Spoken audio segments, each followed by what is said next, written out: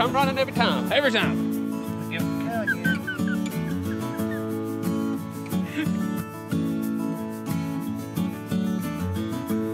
Hey guys, T2 out here at Tightening Survival. I got GH with me in the front, PD's in the back. We're finally getting to test our get home bags. So he's gonna drop me and PD off. Me and PD are probably gonna walk, what is about eight, nine, ten miles today. Yeah. So we're walking at Brasstown Falls up here in Long Creek, South Carolina. We're gonna set up camp, test out a bunch of gear. So hope you guys enjoy, and we'll uh, we'll get back with you whenever we get there. Yep, you ready? Let's hit it. All right, let's go. All right, guys, we have uh, started our adventure. We're doing 9.4 yeah. miles today.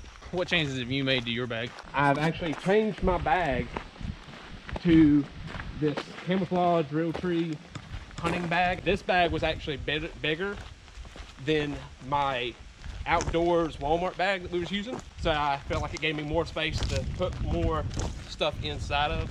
But then, like I said, I've also upgraded my stove system, upgraded my cookware system. I've changed from the one liter bottles like PD's got to the 1.5 liter bottles. So that adds an extra two pounds. I put maps and compasses in my bag. That's about it.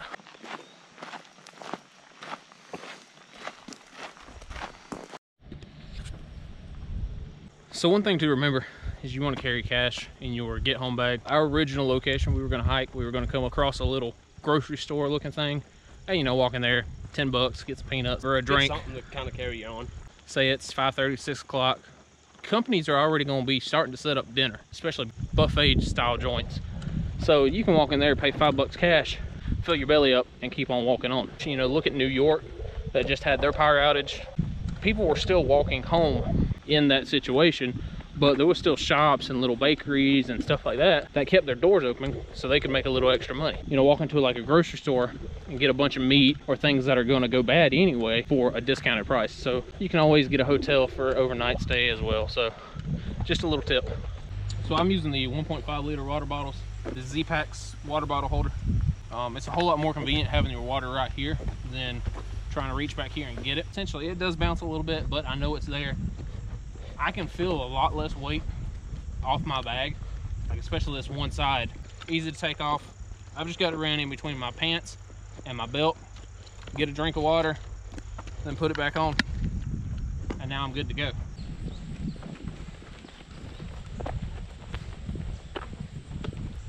All right, guys, we're uh, a little over two miles in. It's been about an hour. Woo! So we still have a long ways to go. How you feeling? I, a little tired. Yeah, yeah, me too. Mainly right here where these buckles are at on my bag. It's kind of like a pinch point. I don't know if it's just because I don't have it strapped right or what. But yeah, that right there is the main uncomfort spot. Just my right knee's hurting a little bit. Nothing like too horrible. I got my work pants on just because if it is a get home situation between my two jobs, I'm probably gonna be wearing these pants. The 511s don't breathe too much. Like my legs, you can tell they're sweating, but it's it's a perfect day to be doing this. The first way is 4.7. So once we hit the end of the road, we'll turn back around and head down to it. And GH is probably setting up camp right now or asleep in the truck, one of the two. So he's, he's staying at the campsite. So yeah, we'll see you in a little bit.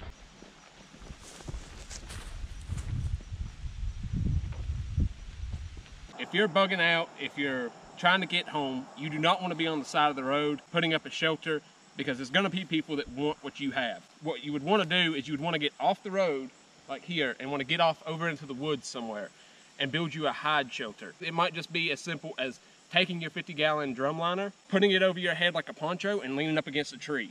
You want to be as concealed as possible. You want to be out of the way. You don't want just a driver by to notice you.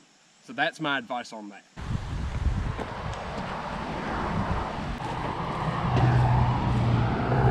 Having a competition for calling Bigfoot. You want to hear it? Yeah, Come here, Bigfoot! That's it. that's it. Come running every time. Every time. That's how you find Bigfoot. That's exactly how it happens. So we just hit uh, 4.7 miles. Now we're walking back downhill Thank God. to the campsite. The last mile was just about all uphill. So what is that? A little over an hour and 45 minutes Yeah, to do four miles. So we're making pretty good time. Tired? very. Yeah. Starting to chafe. Uh, baby Feet powders. hurting. Yeah, baby powder be hit. Feet are starting to hurt. Definitely gotta get some new shoes. Nothing I couldn't live with. The reason we're not doing like a full 20 or nothing like that is A, we're just trying to test this gear. Once we get everything situated, then we might do a longer trek. It might be the situation where you can only do 10 miles for a get home bag, whether it's dark, whether it's just pouring down rain, whether it's too cold. So 10 miles ain't too bad, you know, for a day. If I had to get home from work, we're looking at about four hours to do 10 miles almost. So, you know, that would take me eight hours. Halfway there, feeling all right? Oh yeah, doing good. We'll probably need to drink more water. I'm maybe half a bottle down on my liter and a half, and you're About three quarters on my first liter. yeah. So we definitely need to intake some more water. Now PD's testing out the Z-Packs water bottle holder. How you liking it? I, it's working pretty good. I mean, I got my water right here in arm's reach. I'm not having to ask you to, you know, go through my bag and get it out for me. So, I mean, it's working pretty good. It's right here. If I drop it, I'll know it. I'm getting kind of hungry. Kind of didn't have no lunch or nothing before we took off. So I'm actually gonna go in my bag and get something that you don't have to necessarily like stop to eat something. Uh, one thing I pack Pop Tarts. I had to take my bag off, of course, to get to it. But I'm gonna zip it up, take back off, and uh, I'll be eating this on the road. At 400 easy calories, takes the place of a meal, and ain't gotta cook it, ain't gotta do nothing with it. So, all right, y'all, we'll get back at it.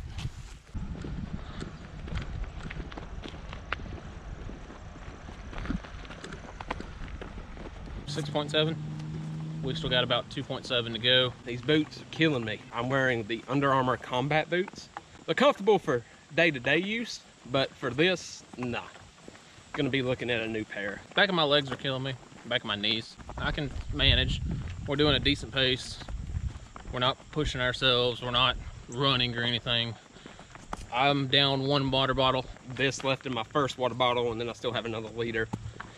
But going to be needing water soon. One thing y'all need to look at is on your way home, whether from work, whether from a store, is your water sources and how you can get water. We've passed a couple, but there's been fences in the way, it's private property, you know, it's not a down situation, so we don't necessarily need to jump a fence to go get water. I know on this gravel road up here, there's some water sources we can get to easier, and I'm not out of water, he's not out of water, so we're doing pretty all right. If I had to walk home, I know there's a stretch where I go probably five to 10 miles without water. So if I'm doing that real world situation, I know that I need to camel up at my last water source because I know that dry stretch is coming. So y'all just be on the lookout for all that. We're about eight, nine miles in. Yeah. How you feeling?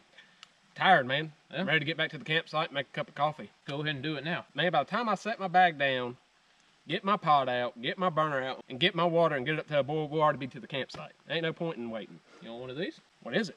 It's a coffee pouch. This one's a quarter cup of coffee. You put it in your lip. About 30 seconds later, you're gonna feel the warming effects of coffee. Nicotine, no tobacco. You can take them on planes, trains, at work, driving, or out here where you can't find a coffee pot. Whenever you get home, go to getgrinds.com, find your flavor you like. So many good flavors. Everything from black coffee to sweet caramel. I'll check them out, You man. good? I'm good. Let's go. All right, let's hit it. All right, guys. We're almost back. Feeling rough, but feeling good. We did the full, what is it, 9.4? 4.7 each way. One and a half each way is on gravel. So that's kind of been getting to us a little bit. Gravel and moving and shifting wears your feet out on a little bit. You hurting anywhere? Feet, calf muscles. Really, that's just about it. Finally, about two miles in, I finally got my bag figured out, got it adjusted right to where this uh, these clips aren't bothering me no more. I mean, it's been all right. The 1.5 bottle over here is empty. This one's still full. So I've got three extra pounds pulling me to my left. And if it was a longer trek, I would even out the bottles or refill my bottle. But we're almost here, so there's really no point in filling them up now. We've been gone close to three and a half, four hours. We're gonna get up here and set up kind of like almost primitive camp. Yeah, really. I mean, bare minimalist, I feel. So no sleeping bags. You took your hammock out. Yep. It's gonna be an interesting night. Two days ago it was 90 something degrees. and now 96 yesterday, actually. Yeah. It's 90, 96 yesterday and like 69 today, so Yeah. you can't beat that. These Arctic Cool shirts have done absolutely fantastic. I'm blown away with the Arctic Cool gear in total with the hat and all. Really, it's just, it worked perfectly. So y'all be sure to check them out. They're like Under Armour. Under Armour like sticks to your skin, and I, I'm not a fan of that. You can tell that it's had a little moisture on it from us sweating. It's just a nice shirt. Every time the wind blows, you get a nice cool breeze right here in the chest and the stomach area. So Oh, yeah. let the breeze blow for a little bit. and I'm And sure they'll- they'll dry out almost. Yeah. It's- the hat's great. Like I've really enjoyed it. Absorbing the Sweat. sweat, pretty good. Keeping the sweat out of my eyes and everything else. It's worked great. It's actually a lightweight hat. I mean, to be honest, I've kind of forgotten I was even wearing it. So all these Arctic Cool products, they get cooler with sweat, but also you can put a little bit of water on them. And I know you do that to your hat. Yeah. He said it was like putting a freaking ice block on his head. yeah, so for real. I think you like yours better on than off. Yeah, really. Like I said, it's been a great product. I've really enjoyed it. We're almost done, at least with the hiking part. And uh, yeah, we'll let you know when we get to camp. After not seeing him for three and a half hours, we thought you were dead. A little dinner, a little, little Sawyer micro action.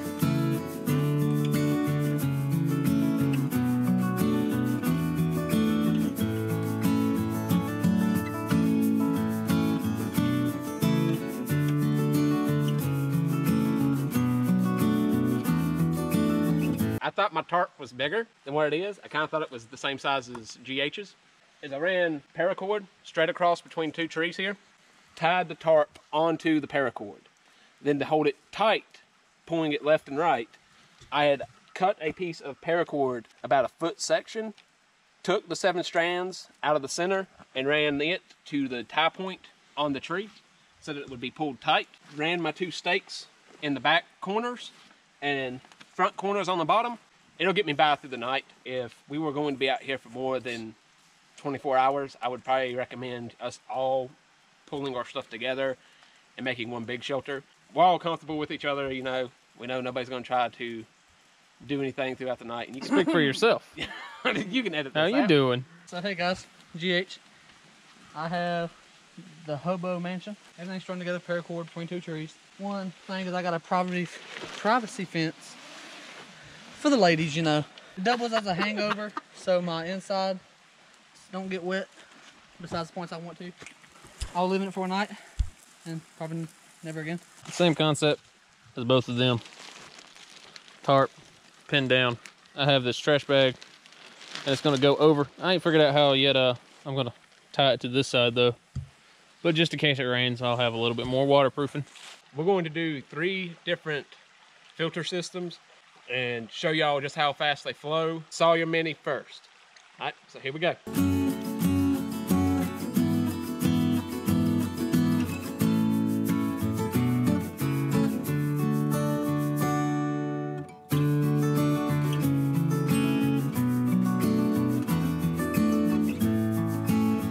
Was the Sawyer Mini. Sawyer micro time speed test.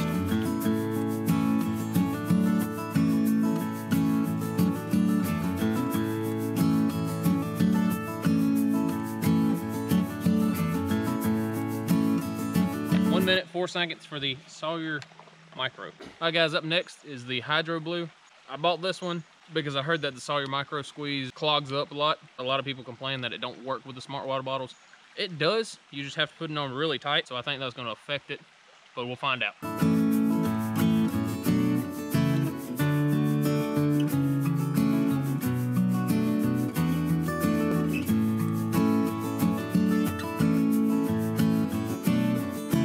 All right, guys, so the HydroBlu is at 109, faster than the Mini, a little bit slower than the Micro. You have to tighten this down so hard on these bottles that it does waste your time and energy trying to get a mic off to burp.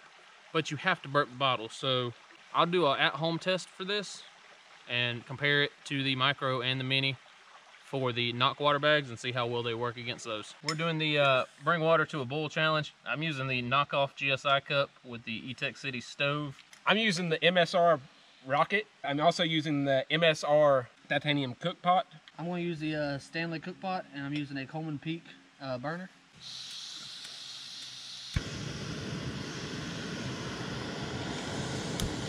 So we're also doing this challenge right now because we're wanting to make coffee. So we felt like this was an appropriate time to do this challenge. Give y'all an idea of just what type of cook systems we use. Both of them are rolling bowls at three minutes. I've got massive bubbles going on. So I was at 315, 320. So they're all pretty much Equal. One advantage that me and Brian have over Jesse is weight. One thing Brian has over mine is his has a flint striker. It's all in preference. I had heard good reviews on the MSR and I wanted the cook system itself. That's why I got this one. This entire kit costs right at $75. So I think mine was maybe five bucks for the GSI knockoff cup from Walmart and less than 20 for the Etekcity stove. GH, how much did uh, yours cost? Uh, it's 15 for the cup around about and about 20 for the burner. So you can go very cheap versus very expensive and they're all about the same. We didn't really see where one had an advantage over the other.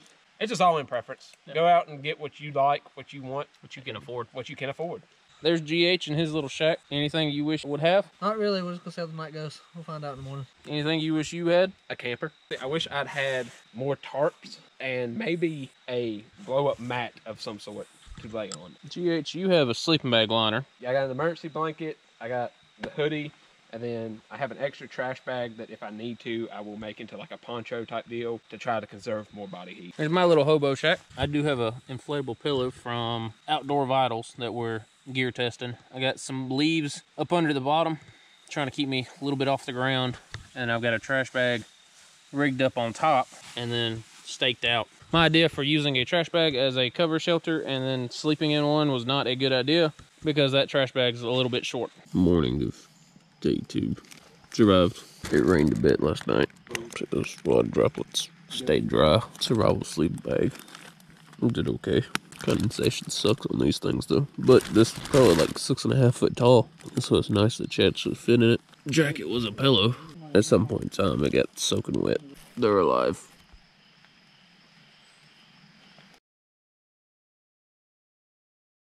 Shelter systems Oh. Uh, it was not. It was not good. it was not good. Yeah, about it.